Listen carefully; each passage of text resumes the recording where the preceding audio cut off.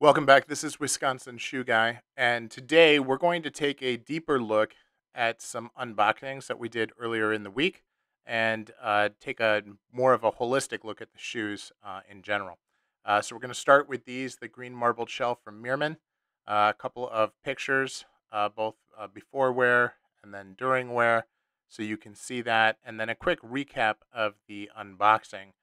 very short, 30 second is what I'm trying to go for here as we as we look at this boot, this is a field boot.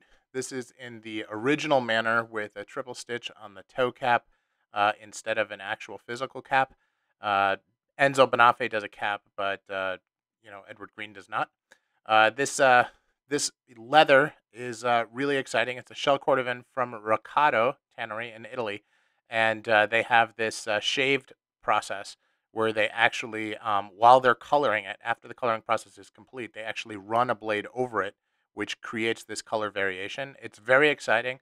Uh, it is not unique to Rocado. Horween does this as well, and I have another pair of uh, boots from them that does that.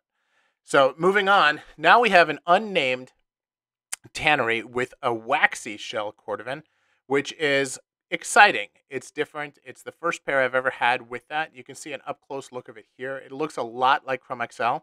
And as we do the quick review of the unboxing here, um, this is on Meermin's Ultraflex system, which is new. Um, it has an insole. Uh, the insole is very hard, and um, candidly, it may be just a smidge too tight. Um, so I'm probably going to go with a thinner insole. Um, my second wear with these, I actually wore no insole at all.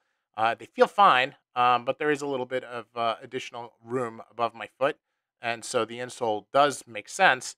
Um, and it's not really a finished sole underneath, um, which uh, is unfortunate. So um, that's something I'm going to have to do. Now moving on, the uh, the next shoe is this uh, Snuff Waxy Kudu loafer, and uh, these I got these in a nine and a half. I normally wear a ten in Meermin, and I went to a nine and a half. I should have gone to a nine. Um, they just run a little bit on the long side.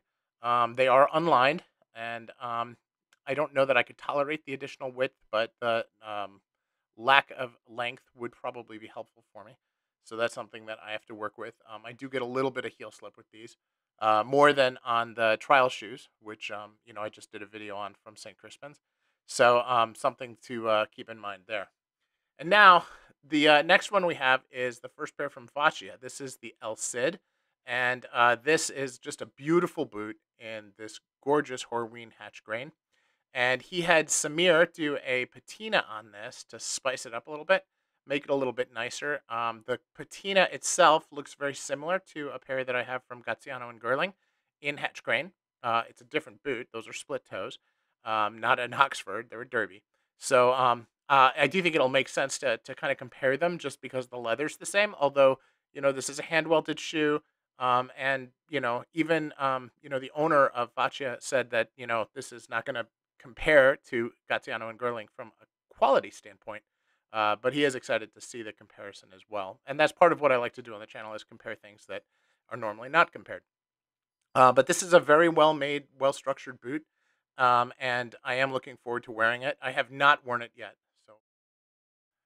So this next shoe is from Vahtia also, but this is um, from Yearn. This is actually the shoe that inspired me to make this, and it was really the patina of this that really intrigued me.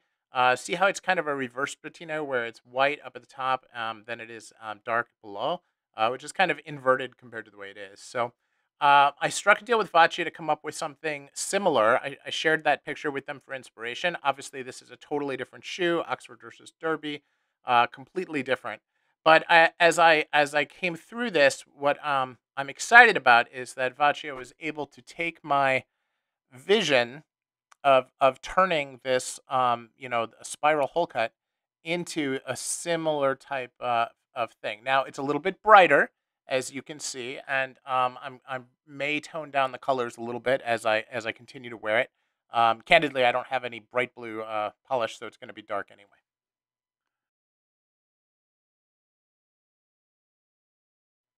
So we go all the way from Indonesia back to Spain and in Spain, I worked with a company called Norman Vilalta uh, to commission this shoe. It was part of a GMTO that they were doing earlier in the year, and it's a beautiful shoe.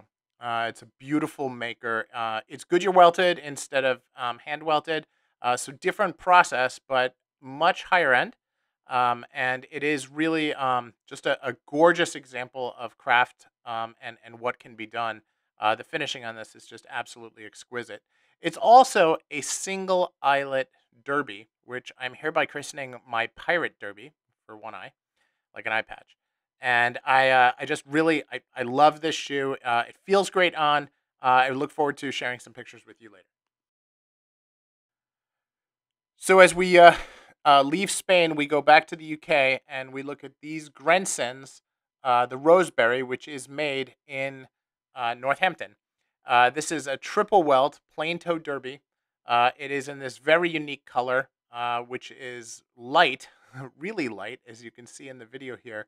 Um, and uh, but it has this gorgeous triple welt, um, which is like a welt on top of a welt with a split reverse welt coming up and it just really has a very nice look to it. Uh, kind of a poor man's Norvegese, but it's um because the look is similar, but you know obviously the construction and the and the way that this is put together is absolutely unique and uh, really something that's cool to add to the collection. Um, I chose to go with a plain toe shoe instead of you know the the brogues, which are, are more common in the line. Um, and uh, you know this is a, uh, a a good double sole, really thick. Um, and uh, really excited to try Grenson and see what it's all about.